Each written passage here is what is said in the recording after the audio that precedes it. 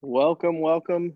Good morning, good afternoon, good evening from wherever you are calling in from. Glad you guys could all make it to a uh, another CP Solvers uh, VMR for non uh, English speaking um, students, residents, interns, attendings. Uh, happy to join you. Um, my name is Travis Smith. I'm a CP Solvers team member. I uh, work in the emergency department and I'm also a dean at LECOM and uh, help teaching students and involved in clinical education. Uh, this is one of the my favorite times of the day, and um, hopefully today we have a case presenter uh, for us, and I'll introduce the rest of the team. First, Gabriella, why don't you introduce yourself? Hi, everyone. Thank you for being here with us in this Saturday morning. Um, I'm Gabriela. I'm from Brazil and I'm a neurologist here. Just finished my residency three months ago. Uh, very excited to be here. So, uh, do you want to go? Uh, sure. Uh, hi, everyone. My name is Rafael, and uh, I'm also from Brazil. I'm a last year medical student and I was just talking with everyone that I was actually on shift. I couldn't sleep the last 12 hours, so I'm sorry in advance if I say something not ordinary. And uh, Sukriti, can you introduce yourself, please? Hi everyone I am Sukriti मैं India से हूँ और आशा है कि आप ये आज की सुबह um, आप लोग um, सब अच्छे हैं। Sorry about my broken Hindi and taking a cue from Rafa everyone who is from India Today we're all under lockdown um, in different states and uh, uh, just i've been having so many erratic sleep patterns because of the lockdown. So rafa I, haven't been in the hospital but totally understand. Um, i think uh, uh, um, ravi or anne-marie would you like to introduce yourself? Amk say hi Hey. Hi. Hope everyone's having a great day. Sorry, that's my dog in the background. I'm just uh, here to observe uh, you all being awesome. Are you are you camping? No, no, I'm just in my backyard. Looks like a very nice backyard. And really does. I, I, I couldn't sleep last night. I woke up at four o'clock in the morning and I couldn't go back to sleep. And I said, "What am I going to do um, until my kids wake up?" And so I listened to your episode, the case that you presented on Thursday, and wow, was that fascinating! So if you guys haven't checked out the Thursday's case, it was a doozy. It really, really was a very special doozy. Hello, everybody. My name is Rabih. I am I'm originally from Lebanon and I grew up in Pakistan, and now I'm sitting in sunny San Francisco at a dog park where my uh, puppy is running around somewhere. Who knows? Hopefully, he'll survive the next 52 minutes. I'm kidding. I see him. Relax. Rafa gave me the Rafa gave me the eyes, the roll eyes. Oh, bad doggy daddy. it's true. I'm a little bit more lenient than most, but whatever. You only have one life to live, human or dog. Might as well live it to the fullest extent. Um, it's so great to see everybody today. Um, what we usually don't lose your dog okay. You know what, I'm leaving. And we, before um, before we jump in, I uh, I really wanted to highlight Emery's incredible case, and it really was a case centered around diarrhea. And I really really encourage you to check that out. Um, to check out the whole hour if you have uh, time for that. To check out the teaching points, um, or to check out Travis's tutorial on a on a specific dimension of the case itself, which is a, a specific blood test that he tweeted about today. So, um, who has a case for us today? Cue the awkward, in quotes, silence. I'm going to do a countdown in my head for a case. What number are we at now? Oh, wait. Why are we do? Oh my God. Gabby, that's so funny. yes. The case of the lost dog. Oh, he's right there. See? He's being really good.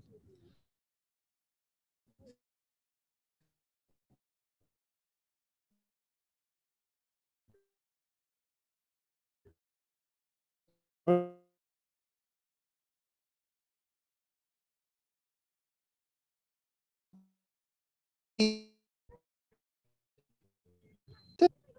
I think we lost her. Oh no. Did you lose me, folks? I'm sorry. I can't tell if You- my internet's cutting. It was a little bit delayed, but I think you're back. Oh, okay. Maria, did you say hi? Hi, Remy. Please don't lose your puppy. Oh no, I have a 360 view on my puppy, and he's very clingy. He's not going nowhere. Alrighty, who has a case for us today? Anybody? Nada? Zero? Oh, uh oh. Sans case? Okay, I'm gonna give it a minute.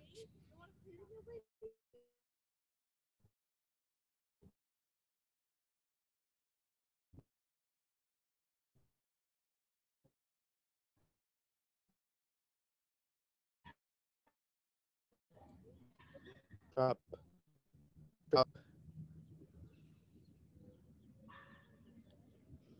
Ooh, Drew. Drew's feeling like forget the medicine. Talk about life. You know, um, Drew. I had an existential crisis yesterday, so I'm putting my life to the side and put it on a pause. Not in a dramatic way.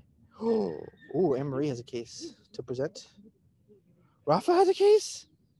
No, can we? Are we really gonna make Rafa present after 12 hours of being on call? Maybe.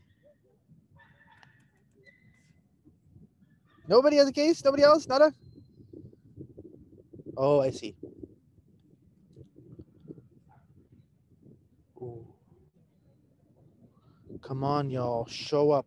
You know, it's like it's- the moment that we're waiting for is like the surprise, like somebody just like emerges on stage from like thin air, you know, like, or somebody's elevated onto the stage as a surprise guest, or somebody's like just dropped on there. Come on, y'all. Who is it going to be?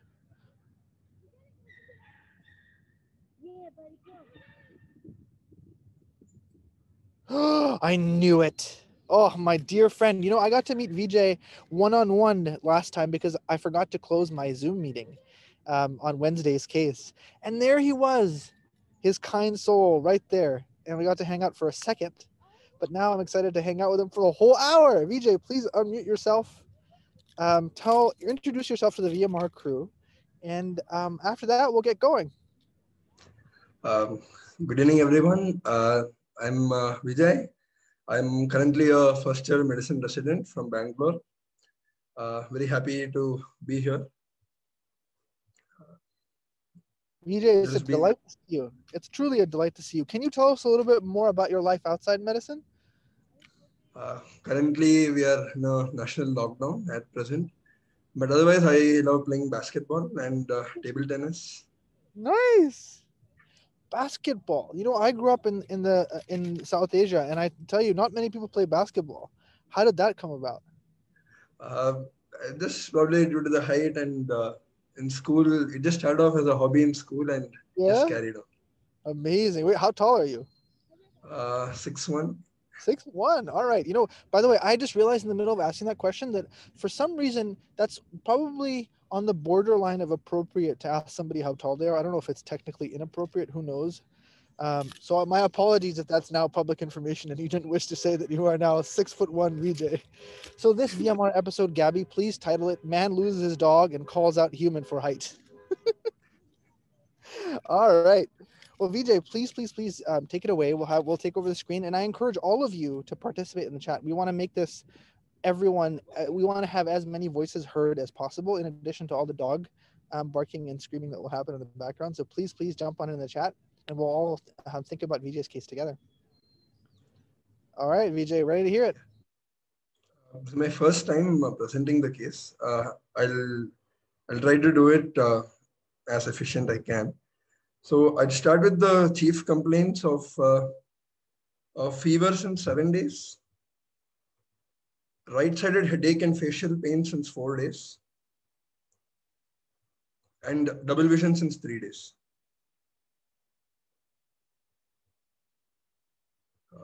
Uh, should I stop here, or I think uh, should I give a little bit of the Oh, HPI? this is so juicy. It's very rare that there's a lot to work with here, but I think we should practice this alone. So, um, Travis, tell us where you went.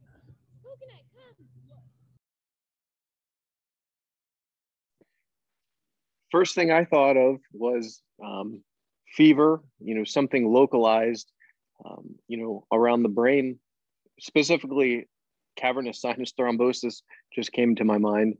I know DVTs can cause fevers, but you know the, the tempo I think of the uh, the symptoms is kind of what I'm going to be focusing on. Um, you know, when we get more information, you know, given this foreground, taking a look at the background risk factors for the uh, for the person, how old they are, um, what medications they might be taking, uh, risk factors that they might have in their life, and kind of center it around there. I think if you look at you know base rate for uh, fever and facial pain in the ER, for me, I'm going to be thinking dental abscess because those are the patients that you, a lot of times come into the ER. So once I couple that with double vision, you know, my radar is going off. I'm getting a little bit nervous and worried about, uh, you know, this person. They could have some uh, intracranial extension of an abscess or something like that. So I definitely am going to be focusing on their background um, and then maybe some other modifiers in their history that might kind of direct me on the best imaging to get and uh, labs and, and you know i'm already starting to think about you know antibiotics and stuff like that so that's kind of where i'm going right now awesomeness i love it raquel can you tell us how you say uh, headache in uh, in spanish if you're able to unmute yourself i know you weren't last time yes um, oh. dolor de cabeza say that again dolor de cabeza or the term the medical terminology is uh, cefalea cefalea Wonderful. Can you?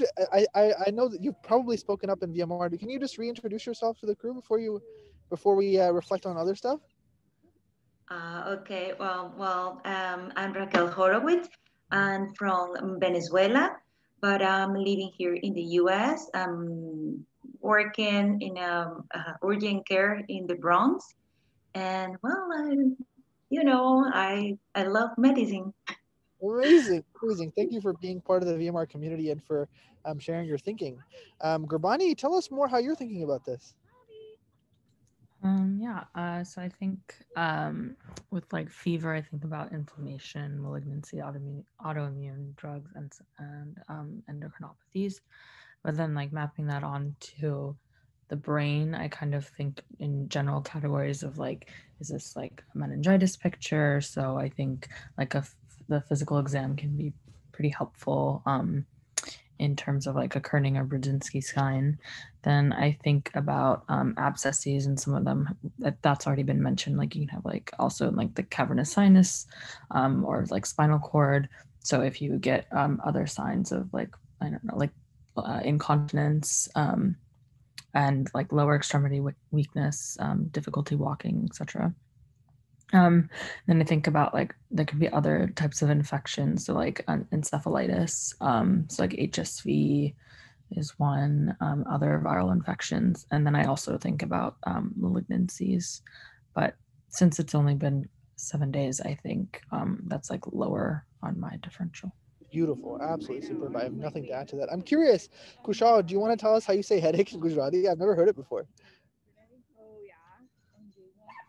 Yeah, it's it's called Mata no dukao. It's literally basically matha pain in the head. Oh, oh, you said say it again.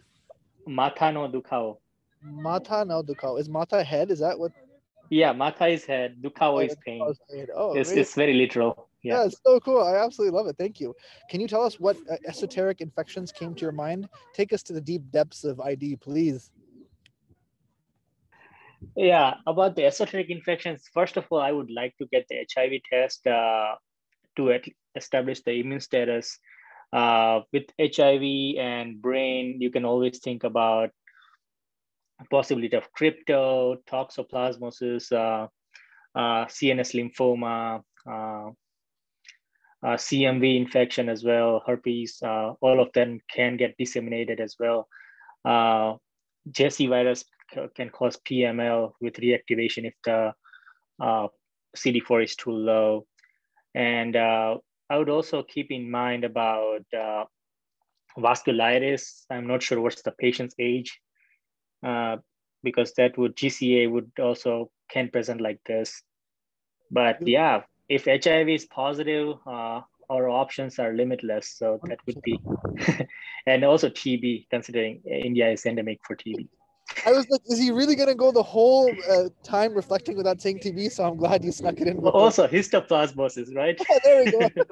HIV, TB, histoplasmosis. Perfect. Thank you so much, my friend. It's so nice to see you here. Um, so, what I would say, um, actually, you know what? Before I before I do that, I would love Gabby, our neurologist extraordinaire.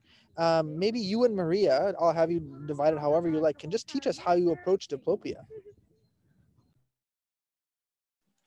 Um, yeah, so I think I was going the same path as Travis because uh, this person has a fever and a headache. So it, and it she, she, she or he probably has um, diplopia due, due to something uh, that we have to check because these these are all red flags for the headache. Uh, and I think about double vision, we have to assess if it's vertical or horizontal horizontal. And first of all, we have to check if it's monocular or binocular, because if it's binocular, it's probably something um, from uh, uh, not from the from the eyes, uh, properly speaking. So if it's monocular, prob probably it's something from, from the eyes. And if, if it's binocular, it's something behind the eyes. Uh, for example, the cranial nerves or uh, um, uh, the third, fourth, or sixth cranial nerve. And so these, these are some things that I think about diplopia. First, localization, and, and then um, if it's monocular or binocular. Beautiful. Absolutely superb. Thank you. Maria, what anything to add to that? It's going to be hard. Yeah, I should have gone first. but I agree with Gabby. I think like first you have to see if it's binocular or monocular. You know, like everybody can have like double vision. They just go like like if you try to if you try to see double, like if you I don't know how to, how to explain it, but I think everybody has experienced that and that can be normal. So uh, we have to make sure, um, as Gabby said, like if it's monocular, you know, if you cover one eye and you continue to see double, then it's monocular. But if you cover one eye and you still see double, it's binocular. And then uh, localizing features, you know, we have three cranial nerves who, uh, you know, do all of our eye movements. So you have to like localize which one if you have problems with like abduction, adduction, or no no no problems at all and then always check for like cranial nerve 3 has a lot of cool stuff they do so uh, you also have to check you know like if it's just you know like um, extraocular movements or if it's you know like the eyelid is involved or the pupillary is involved so then like you can localize it even further in the cranial nerve 3 and I, I think one of the most interesting things we've been discussing uh, recently in VMRs is um, myasthenia gravis syndrome. So always check for like fatigability. Uh, and so like is the person having um, double vision all the time or is or is it just like at the end of the day or you know associating um, the double vision with something else? And then yeah fatigability i think is one of my favorite questions to ask with double vision. Incredible. Um, i will um, I will tell you that you have to be very, very careful with diplopia. And um, let me just take you down that that um, road that Maria and Gabby walked you through and tell you why it's tricky. Um, when we say monocular and binocular, it can be confusing, especially if um, you're learning English, especially medical English. And what, what really you have to do is you walk in and you ask the patient to isolate one eye and see if the diplopia persists or not. And if the diplopia vanished, you have not established a neurological cause. What you've established is ocular misalignment. So if you cover one eye and the diplopia goes away, the definitive uh, scientific conclusion is ocular misalignment. If the double vision persists, you've now established that there are two images landing on the retina in somebody. And the reason two images land on the retina is a problem in the eye in most instances okay? What if you cover one eye, the diplopia persists, and you come to the conclusion that the eyes are aligned well, it's a problem in that eye alone. But then you switch to the other eye and you get the same thing. you can actually also get a cortical monocular diplopia. The cortex can fool you into thinking that there are two eyes in the retina. So even monocular diplopia can actually localize to the brain. But more importantly, when you get binocular diplopia and you have somebody cover their eye and the diplopia vanishes and you conclude that there's ocular misalignment, the reasons the eyes might be misaligned is there is a neurological issue or there's a space occupying lesion in the orbit itself that results in ocular misalignment. So the key question here is there is uh, diplopia, is it binocular or monocular? And it likely in most patients is binocular. And then the question is, is a problem in the orbit or is it a problem in the neuraxis? It's no different than when somebody says, hey doctor, I am weak. Your job is to say, is it in the knee joint or is it in the muscles moving the knee? And here, that's the tension. Are we going to go into the eye itself or are we going to go in the cranial nerves? Why is the cavernous sinus the trickiest place? Because cavernous sinus causes neurological compromise and also causes orbital signs by putting pressure on the orbit. And so the cavernous sinus is a place that has both features to it. How do you localize to the orbit? You localize by finding orbital signs. And orbital signs are pain with eye movement, proptosis, and involvement of cranial nerve 2 is another supportive feature of an orbital process as something in the orbit compresses the optic nerve. So now when you're looking at this patient, is this silent binocular diplopia, meaning there's no proptosis, no injection of the eye, no chemosis, and no pain with movement and normal vision, you're probably in the neuraxis. But if you walk in, you see binocular diplopia, the eye's massive, red, popping out of the skull, you're probably going to look for an orbital lesion. So here we're thinking about many things. We're thinking about basilar meningitis, which would cause a cranial nerve problem, but we're also thinking about mucor, which would cause an orbital problem. So the key question now is forget the history. Do a quick exam and try to localize, is it orbit or not? And then try to make progress based on localization. So if I were seeing this patient in real life, I would be looking for pupillary issues, chemosis, injection, pain with eye movement, and localizing, and then getting more history. So I'm curious, Vijay, if you can give us that initial triage exam of of the uh, the initial questions about uh, diplopia, and then maybe give us more history after that. in discussions, uh, I'll just add, uh, I didn't give the age. So the patient was a 70 year old male. Uh, coming to the other symptoms, uh, coming to the headache, he had this dull, diffuse headache only on the right side, which did not affect his sleep. There is no any photo or phonophobia or associated loss of smell or taste. Uh, coming to the next symptom of the diplopia. So the patient was not very clear of uh, what kind of diplopia he had, but predominantly he said it was horizontal. And there was no associated head tilt or posturing, and it was non-fatigable. Uh, also, there was, uh, then the patient also said there was reduced sensation over the right side of the face as well and there was increased redness and pain during movements of the eye of the right side. So uh, these were related to the uh, diplopia. Uh, coming to the other uh, uh, significant histories, uh, past medical history significant for type 2 diabetes mellitus since the past 15 years, not well controlled. Uh, also on uh, conservative management for chronic kidney disease.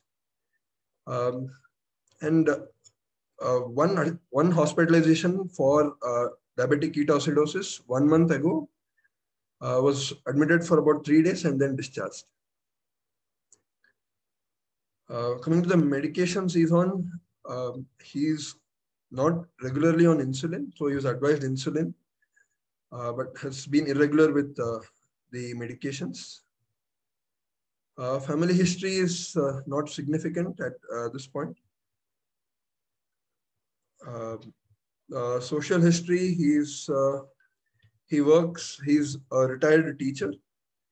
Uh, no significant occupational history or exposures to or any travel. there are no known allergies or any high risk behavior that the patient has. Um, I think I'll give a part of examination. I think uh, that uh, goes into much more details. So, um, history. Okay. Uh, so he he came with the BP was uh, 140 by 70. Uh, pulse was 96 regular. Temperature was afebrile. Respiratory rate of 22. Uh, so they were fairly normal. Uh, coming to the general examination, there was, uh, especially in the ocular examination, we noted uh, ecchymosis with diffuse redness of the eye. And uh, there was complete ophthalmoplegia of the right eye. Pupils were, pupillary reactions were spared. Uh, there was some crust that was noted in the nasal cavity as well. Um, cardiovascular, pulmonary, and abdominal were normal. Uh, so neurologically, I think uh, they go hand in hand. I think the ocular and the neuro examination can be clubbed together at that. Um, the left eye was normal. There was no uh, feature suggestive of an INO there. Uh, complete ophthalmoplegia on the right eye. Uh, there's tenderness over the maxillary and the ethmoidal sinuses on uh, on the right side. Uh, I think I'll stop at this. Folks, now you know two things. One, whenever we sit and wait and wait and wait for a case, it almost always is absolutely mind blowing. I've never had that awkward silence not be followed by an absolutely extraordinary case. And th- to me, this is like Vijay just popping out of nowhere with just a mind blowing c- clinical reasoning exercise. Thank you, Vijay. And you're presenting it just so expertly. It really, really is um, one for ripe for discussion. I also wanted to um, I also wanted to tell you something that I think is happening to all of us. Right now, we are all at high risk of forming a cognitive error, very high risk. Because what has happened is we are now building a classic illness script for a certain disease. And the probability of said disease may be very high but these are the circumstances where this it's a very rare diagnosis that we're all invoking but it seems so appropriate to invoke it now that i encourage you all this is the situation in which we make mistakes a lot of the time because if you take 100 patients like this who have this exact same syndrome most of them will not have the diagnosis we're wearing most of them will have an atypical presentation of something more common but the problem is that the diagnosis that we're all biased towards is so lethal that we have to think about it no matter what. But I encourage you to now practice not mentioning ev- uh, the diagnosis that's on everybody's mind and being systematic about it. Okay, so let's be systematic.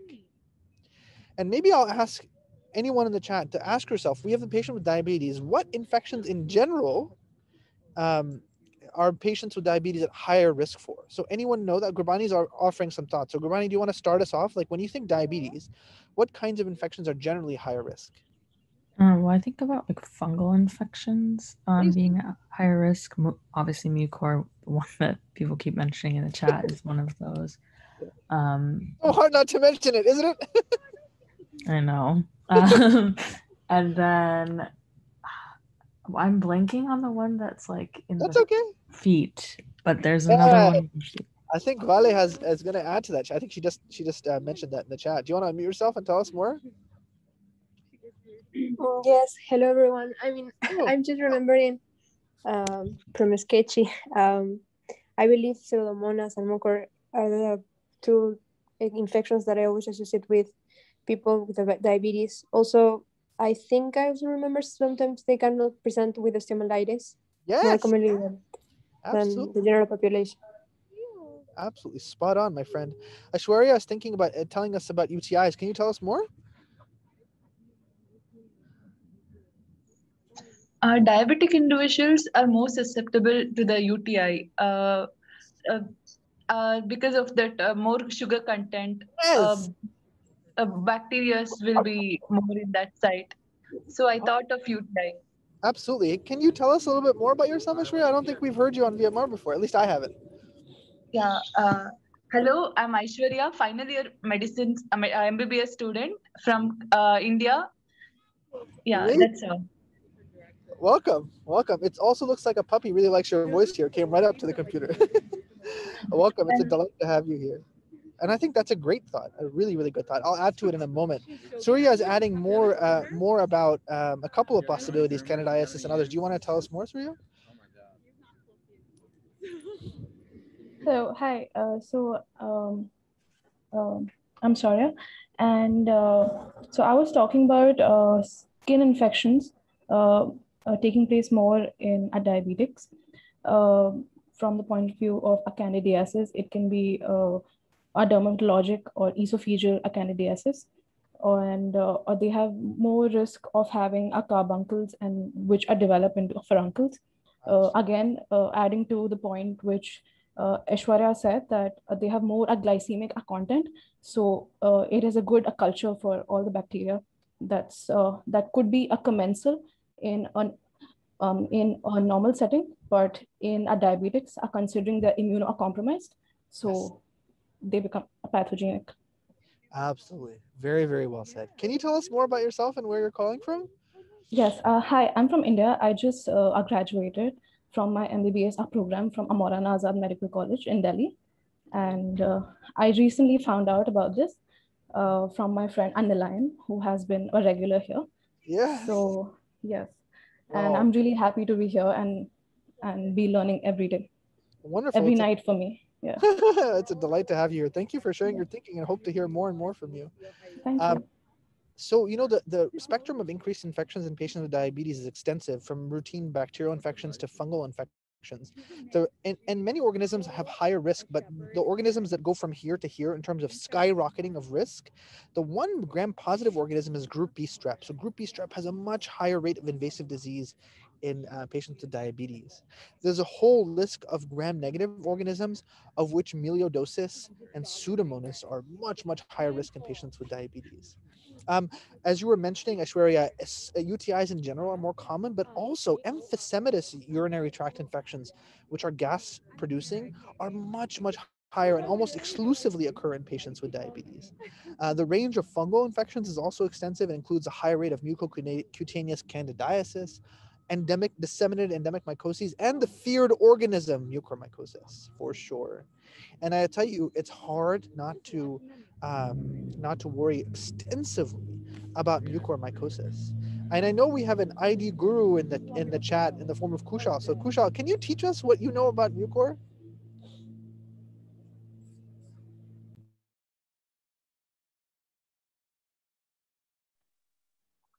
Hi, I'm no ID guru, but I know a few things about mucor that uh, I, I, That's the only thing I, I would. the only things I know is I pick, what I picked up from Rabih and uh, Rafa. So uh, with mucor, uh, you get uh, you are more commonly at high risk to get it uh, in patients with uh, hematologic malignancies, uncontrolled diabetes, and most common findings we see with mucor, you can it can present in rhinoorbital mucormycosis, you can also get pulmonary manifestations from that too, where you can get reverse halo sign, which is uh, opposite of halo sign. Halo sign is aspergillosis, where you get consolidation surrounded by ground glass infiltrates, and mucormycosis is ground glass infiltrate, infiltrates surrounded by consolidation. Uh, I think uh, recently they had an NEJM case on that as well. Uh, with mucormycosis, it's, uh, as uh, we all discussed, it's really important that uh, we diagnose it urgently because if you miss it and it gets undiagnosed, the mortality is really high. And you usually start the treatment with amphotericin, and you need surgical debridement as well. Uh, the other thing with mucor is uh, if patient is on iron chelating agents, the risk is really high because mucor feeds on that iron from the iron chelating agent. So that's something to be mindful of absolutely superb, my friend. You told us that mucor can begin in the upper airway, lower airway, um, and disseminate everywhere. It can also begin, begin in the GI tract and is one of the very few infections that can actually infect the stomach, which is crazy. You told us that um, the risk factors are hematologic in nature in the majority of patients, but we have to keep out keep an eye out to um, subtle and unexpected mucor in patients with iron with iron excess. Um, also, you have to be careful of patients with chronic acidosis. So renal tubular acidosis is a subtle but important risk factor for mucormycosis um, as well. And uh, Bharat is teaching us about melioidosis. Bharat, do you want to unmute yourself and tell us more?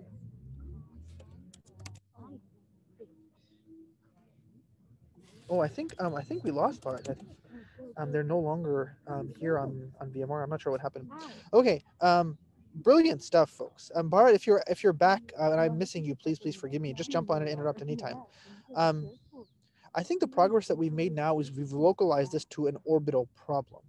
And we went from diplopia to is it I positive or I silent? And the I is very positive. And the orbital the orbital diseases here in a patient, oh, Bharat, it just came back. I'm going to ask him to reflect in a moment. Um, but I think now this is a very, very concerning situation um, for the possibility of mucor. So, um, Bharat, oh, I don't think he has a mic. Okay, it's okay. Um, Bharat, if you're here, we just saw your um, your comment on melioidosis. Do you want to unmute yourself and tell us more about um, what you know about melioidosis, Bharat? Um, hello. Yes, I'm Bharat. This is my first time here on Virtual Morning Report. Thank you for having me. Yes, this was something I also got to know about very recently. Um, melioidosis, which is um, another infectious disease, which is more common in diabetics. It can affect a wide range of organ systems, ranging from the skin to the lungs, and it may even cause sepsis. This is what I know of. Probably even I will have to read more about this because it's something very new to me as well. Thank you. Incredible, Bharat. Do you want to just tell us, since this is the first time you're calling, where you're calling from and tell us a little bit about yourself? Hi, um, I'm Bharat. So I've also recently finished medical school from India. I'm from University College of Medical Sciences in Delhi. Right now, I'm in Florida. I'm here doing an observership in the Department of Internal Medicine at, at Orlando Health.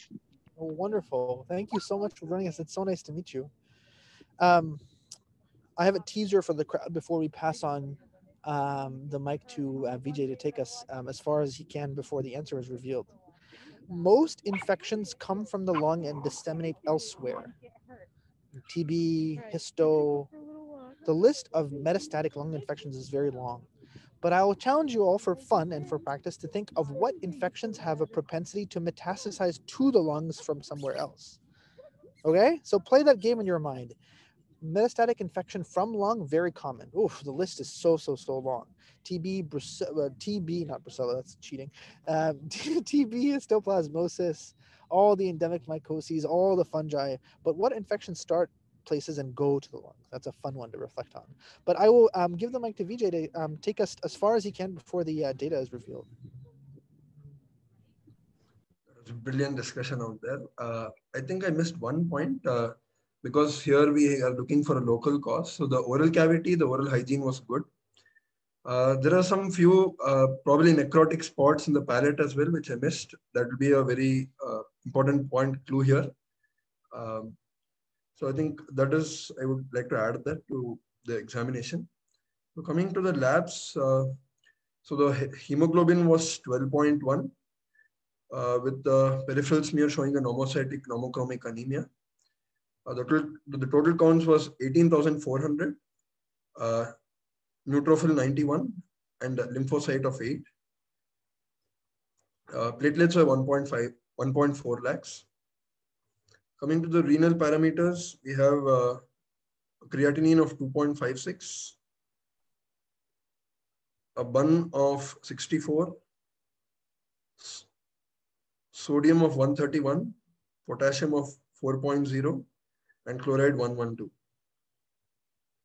Uh, urine uh, analysis, uh, it shows uh, 2 plus proteinuria, uh, normal, no RBCs or WBCs, microscopy normal, no cast or sediments. HbA1c is 11.5. Um, yeah, LFT is normal. So I think this is, I think this will give us uh, almost the diagnosis. Uh, a swab was taken from the nasal crust. Uh, it showed a broad-based aseptate branching hyphae, hyphae and fungal filaments. that was seen. Um, I think uh, that was there. Oh, oh amazing. That gives us the diagnosis. Alrighty, wonderful.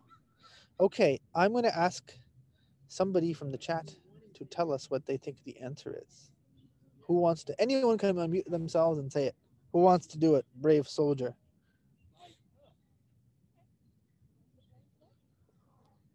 By the way, I'm doing this. I'm hoping to meet somebody I haven't met before. We'll see. Who's doing it? Who's doing it? It's Mucor. Oh, Drew. Boom. Hello, Drew. Hello, hello, hello. Um, yeah. Uh, also, sorry for the cell phone cam. Uh, as I had mentioned yesterday, my computer decided to die. So, um, Uh-oh. yeah, uh, coming to you live from cell phone cam world. It's so great to see you here, Drew. Yes, Yeah. Mucor it is. Vijay, can you teach Mm-hmm. us about how you came to this conclusion and what you learned from this case?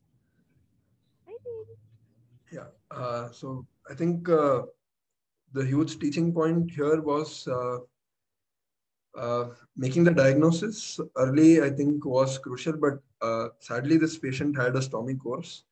So uh, within about uh, three days after admission, the patient had the disease became bilateral. He underwent a debridement, and we started him on liposomal amphotericin. So it was somewhere at three to five mg per kg body weight. Uh, we started him at that. The issue was he also also had a chronic kidney disease, so that was also another issue with that. Uh, but sadly, we lost the patient. Uh, uh, four days, two days after the surgery, he developed uh, CVA, and and he had a diffuse septicemia and septic shock, and we lost the patient. So uh, reflections for from this was, uh, I think any uncontrolled diabetic, it needs a very high degree of suspicion uh, to pick these things up. Uh, probably if you would have got it a little more earlier, patient presented earlier, uh, we might have been able to do something. Um, so those are the things uh, that uh, that was a huge take home for me and uh, advising the patients to uh, um, stressing the importance of adequate diet and treatment adherence. I think that goes a long, long way in treating these patients. And also lately, because of the COVID pandemic, and uh, there is irrational use of steroids that are uh, very common here. Uh, so that also, I think, uh, uh, is a very sad thing. We're seeing a lot of mucor cases of late shooting up due, due to COVID, which is really sad. More than the COVID illness, it's like we give a disease and uh, he worsens. Vijay, I think you know I, I'm lucky to have known you for a few weeks now, and I think that um, just the way you carry yourself is something I deeply admire. And, I, and I, what's striking me now is isn't just the words that you're saying, but also just how impacted you seem to be from the loss of this patient and just the um, the pain of the death and dying around you. And I think um, you know just to be to be transparent, I think you're the kind of um, physician and human being we all strive to be to be so compassionate and thoughtful and to feel that pain a little bit you know you don't want to, i don't want anybody to suffer but i think it's people like you who are touched so deeply by this these tragedies that turn around and make an impact and here you are educating us again and in our minds we are ready to jump on mucor sooner all of us because of this specific case and for all the other things that we learned um, so thank you so much truly for um, being a key member of this community. And thank you to everyone who's been participating to Gabby, Maria, Bharat, or I mean, Aishwarya. I'm just going through the list, like all the people, Dhruv, Gurbani, Hans, everyone who spoke up today, Kushal. I'm just going down and down and down. And I really encourage you all to have your voices heard. Every time that somebody says, every, every time that somebody new or somebody contributes is a new neuron that fires a new lesson that learns the, deeper we get to know each other and the more we participate, the better we all are off. So thank you to everyone, truly, and thank you to a special thanks to Vijay for uh, for bringing this case to us. Um, hope to see you um, next week, of course. But of course, but before we bounce and say goodbye, we'll go through the journey again of this case and learning from it from none other than the one and only Maria. So take us home, Maria, please. Hi, thank you everybody for being here. Um, and thank you, VJ, for giving me a neuro case on a Saturday morning. It doesn't get any better than that. um, so we started off with a couple of uh, complaints uh, or concerns from the patient um, with headache, fever, double vision, and you know, with headache, with um, I really like it because it can it can be really straightforward and not say anything, or it can be a defining feature of the case, and it all comes down to red flags, and basically anything that makes you think this is not a migraine or a tension headache is a red flag. So anything at all, um, I really I, I like to think about red flags as like as if I'm like the youngest student possible ever. So I've like my first day in medical school and I would worry about anything. So that's like a red flag for headaches for me. So if the patient has fever, if the patient has any other complaint or older age, we um, we saw in the chat like GCA going on, and it's definitely a diagnosis you don't want to miss. Any type of immunosuppression, um, because it predisposes you not to like CNS lymphoma or a lot of other infections like HIV, JC virus, reactivation, CMV, herpes, TB, fungi, toxoplasmosis. Like there's tons and tons um, of infections um, causing headache in immunosuppressed patients. With double vision, um, you know, it it can be a little bit intimidating uh, for uh, some to approach double vision, but don't worry because there's always like a wonderful schema that's going to help you. So start with very simple, like as Rabih said, physical exam. Um, check if it's monocular, if it if you cover one eye and it resolve and if it doesn't resolve, or binocular if you cover one eye and it resolves. And so with monocular, um, we might make a mistake, but it usually uh, localizes to um, the eye and if it's binocular it's ocular misalignment which involves you know the muscles and the nerves um, like um, the nerves responsible for the muscles. Um, and then if it's binocular always think if it's in the orbit, like a mass, uh, a space occupying lesion, or if it's like a neuro, more about cranial nerves. And, you know, um, you can localize it with orbital signs, you know, if it has pain with movement, proptosis, or if it involves cranial nerve two, um, then it's probably in the orbit. With neurolocalization, you know, always think about your cranial nerves uh, and responsible for your um, extraocular muscles, so cranial nerve three, four, and six, and then um, there's a lot of places where these intersect or you know they interact with each other but a very uh, interesting one is the cavernous sinus which involves the cranial nerves 3 4 6 v1 and v2 responsible for like the sensation of the face you know and like top half of your face. Uh, and then you know with double vision you know always ask about fatigability and if it's like more um, you know more at the end of the day because it can make you think about MGS. And you know we were really quick to make a cognitive error when we saw like uh, everything from the history, and then we heard diabetes.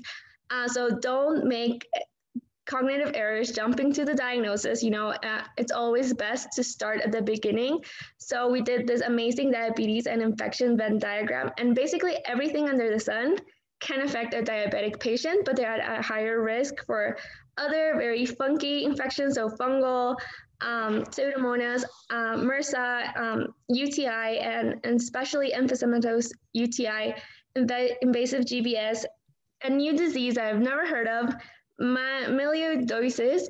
I'm pretty sure like a lot more. And then you know you you want to start at the beginning, but definitely there are things that concern us more than others. So always think about the most worrisome, most morbid, most mortal diagnosis first. In this case, it was mucormycosis. Um, and you know, it presents at a higher risk in patients with diabetes, hematologic malignancies, uh, patients who have an iron, iron overload.